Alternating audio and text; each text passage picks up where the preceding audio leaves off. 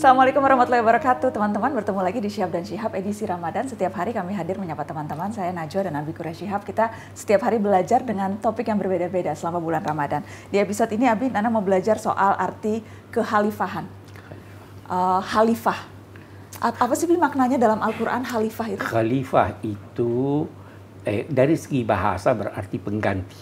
Pengganti? Ah, yang datang sesudah. Hmm. Itu sebabnya eh, Sayyidina Abu Bakar khalifah Rasulullah. Datang sesudah Rasulullah.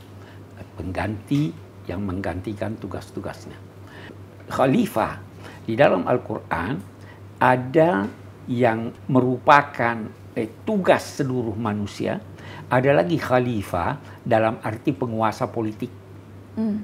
nah, ketika Allah ingin menciptakan manusia Allah berfirman, saya akan menciptakan di bumi khalifah. Manusia itu khalifah. Bisa jadi pengganti makhluk lain. Boleh jadi ada manusia sebelum kita. Hmm.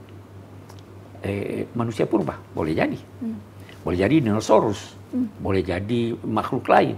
Kita manusia modern ini pengganti. Khalifah. Kita khalifah. Oke. Sekarang begini, Waktu Allah menyampaikan itu, malaikat bertanya, bukan keberatan, tapi bertanya, apakah kamu akan menjadikan di bumi ini khalifah itu yang akan menumpahkan darah, yang akan melakukan pengurusakan di bumi? Hmm. Allah tidak jawab. Malaikat bertanya itu karena apakah ada rasa keinginan untuk menjadi khalifah? Ya, itu boleh jadi salah satu sebabnya. Boleh jadi juga sebabnya begini. Dia tahu bahwa bumi ini terbatas. Kalau ada banyak orang, pasti akan terjadi perebutan. Ya. Sehingga terjadi pertumpahan darah. Boleh jadi itu. Boleh jadi juga pertanyaan itu melihat pengalaman yang lalu. Boleh jadi juga berasumsi asumsinya lahir dengan melihat dirinya. Kita kan ini bertasbih, sujud, syukur, beribadah kepada Tuhan. Kalau bukan kita, pasti punya sifat yang berbeda dengan kita. Hmm. Maka lahirlah pertanyaan itu. Oke.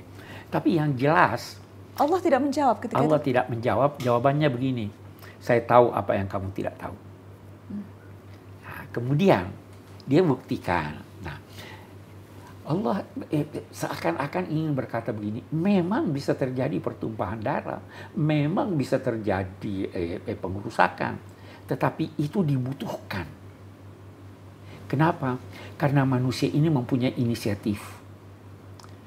Malaikat tidak punya inisiatif. Dia kerja apa yang diperintahkan.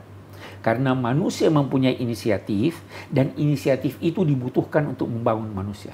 Memang dia bisa salah. Memang dia bisa terjadi pertumpahan darah.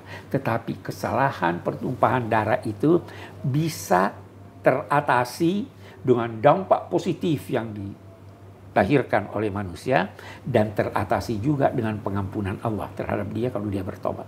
Hmm.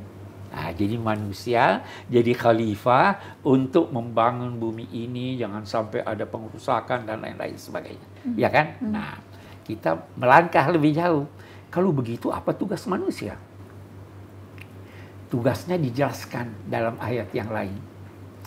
Allah telah menciptakan kamu dengan melalui tanah dengan tanah bumi ini dan menugaskan kamu memakmurkannya.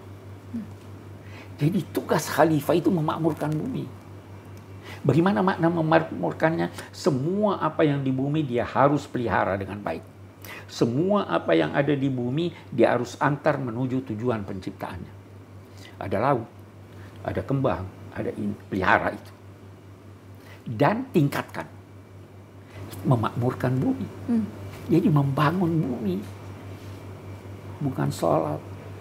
Hmm. Bukan puasa, bukan zakat. Sholat itu cara yang membentengi manusia supaya kegiatannya membangun bumi tidak melenceng. Hmm. Itu sebabnya dia katakan, eh, Inna sholat tanha anil fahsyai wal Sholat itu menghalangi manusia melakukan kemungkaran, melakukan dosa. Karena ingat Tuhan, oh Tuhan suruh saya begini. Maka sholat, sholat sebagai kunci bukan tujuan akhir. Hmm. Tujuan akhir membangun bumi, itu khalifah. Zakat, tujuannya apa? Kamu harus bekerja, kamu harus ini. Tapi bersihkan. Zakat bersihkan. Eh, jadikan dia berlipat ganda. Zakat. Tujuannya itu. Jadi tujuan itu ada dua macam. Tujuan dekat dan tujuan jauh. Ada ultimate goal. Ya. Nah, kita main bola, Nabi suka senang main bola. Mm -hmm. Mau menggolkan ya? Mm -hmm. Oke. Okay. Apa itu tujuan akhir? Tujuan akhirnya menang. Tujuan akhirnya menang. Abi pernah bilang itu, jadi Nana ya kan? Nah, tujuan akhirnya membangun bumi ini, membangun peradaban di bumi ini. Itu tujuan akhirnya. Hmm. Tetapi harus salat, harus puasa, harus zakat, harus haji, kewajiban. Untuk apa? Kunci untuk mencapai sukses itu. Buk, jangan berhenti di sana. Jangan berkata udah deh kita ini eh, eh, apa namanya eh, corona di rumah aja hmm. bahwa kita sudah tidak bisa sholat. Tidak. Tuhan jadikan bumi ini sebagai masjid. Ju'ilat liyal ardu. Kalau tidak bisa salat, ada ibadah lain. Salat terawih kan sunnah. Ada ibadah lain. Belajar, eh, membantu orang, eh, simpati pada orang, eh, berpikir, dan lain-lain. Hanya ibadah lain untuk membangun bumi. Hmm. Jadi kekeliruan kita memahami ibadah itu dalam arti ibadah ritual. Padahal sebenarnya ibadah itu semua kegiatan yang direstui agama. Dalam konteks membangun bumi. Jadi kalau ada orang, Abi mau bilang begini, ada orang dalam saat normal, bangun malam sholat tahajud, besok paginya dia malas ke kantor. Padahal ke kantor adalah kewajibannya, dia berdosa seorang sahabat Nabi di masjid terus. Nabi bertanya, dia ini makannya dari mana? Dia bilang ada saudaranya yang kerja yang membelanjai dia. Nabi berkata apa? Saudaranya lebih baik dari dia. Kita membangun bumi, membangun peradaban di sini. Peradaban, keindahan, kebenaran, dan kebaikan. Hmm. Itulah fungsi kita ya, sebagai itu, khalifah. Itu, itu, Terima kasih Abiku. Terima kasih teman-teman. Kita ketemu lagi besok ya insya Allah. Wassalamualaikum warahmatullahi wabarakatuh.